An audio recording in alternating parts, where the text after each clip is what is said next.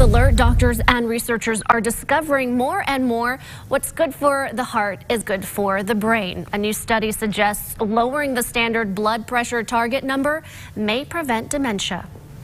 We're going to take a blood pressure.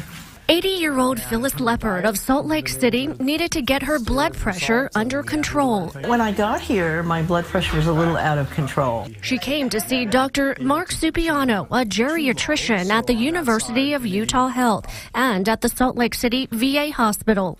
He happened to be involved in a five year study looking at 8,500 patients 50 and older with a high risk of cardiovascular disease. It suggests that lower is better and really is the first solid evidence we have that what has been shown to be good for the heart is now good for the brain.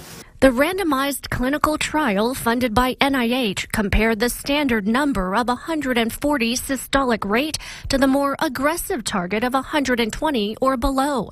Systolic blood pressure is the top number that indicates the pressure your blood is exerting when your heart beats.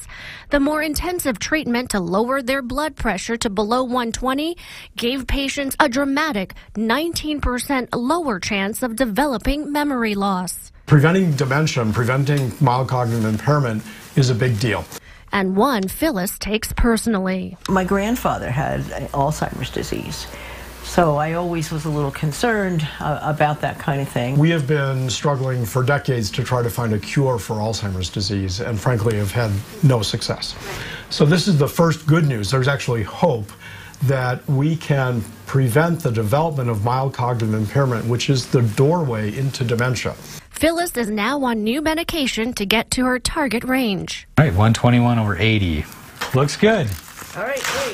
If we can delay the onset of dementia by two years, by the year 2040, 20% fewer people in this country, or 2.2 million fewer people, will have dementia relative to what the current projections are. So the public health implication of this lower or more aggressive blood pressure target is really quite enormous. The results of the study were so promising the trial stopped, but because of more questions remaining about the link to dementia, the Alzheimer's Association has funded research for two more years.